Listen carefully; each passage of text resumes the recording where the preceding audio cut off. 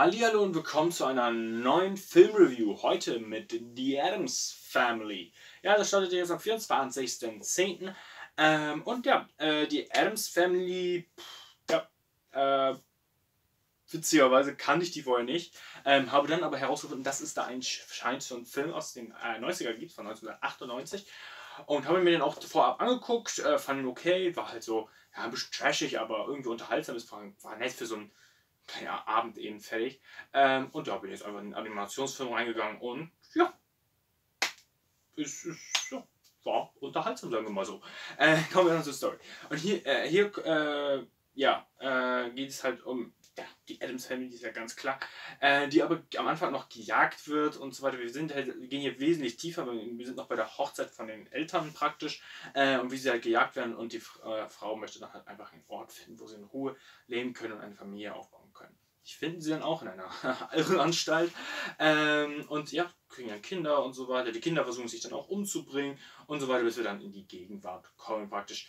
Äh, ja, da haben wir es dann, weil da kommt unten dann auch so eine neue Stadt. Da gibt es dann auch so eine Maklerin oder halt so eine Geschäftsfrau, die äh, in der Adams-Familie eher so einen Schandfleck sieht für ihr Verkauf und die eher loswerden möchte. Auch die äh, Leute dann gegen die hetzen, wo man dann schon herausfiltern kann, was praktisch die Lehre durch dieses Film, dieser Film sein soll.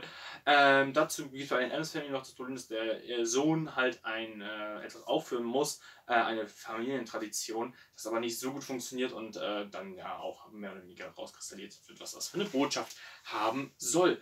Ähm, Im Allgemeinen muss ich aber sagen, dass es mir doch ganz gut gefallen hat. Also er ist wesentlich besser, finde ich, als der Film von 1998, weil das hier größer ist, sagen wir mal so, weil Adams Family aus 1998, das war so, wir haben jetzt einfach eine Familie, hier so ein kleines Dings, der eine verliebt sich irgendwie in die Haus, in das Hausmädchen und die betrügt ihn und fertig, das war's dann. Hier haben wir wirklich so von Anfang mit der Hochzeit äh, bis dann halt äh, ja, die Gegenwart, das finde ich ganz cool, so diese, dass es halt mehr ist. Äh, man sieht hier auch mehr von der Familie generell, ähm, und äh, äh, ja, sieht auch generell ein bisschen so, durch Animation kann man auch ein bisschen die seltsamer darstellen vielleicht. Äh, man sieht ja auch an der Frau da so, dass die so total dürr ist. Ähm, und, und wie die, seltsam die Leute auch generell dann aussehen, auch für die Allgemeinheit.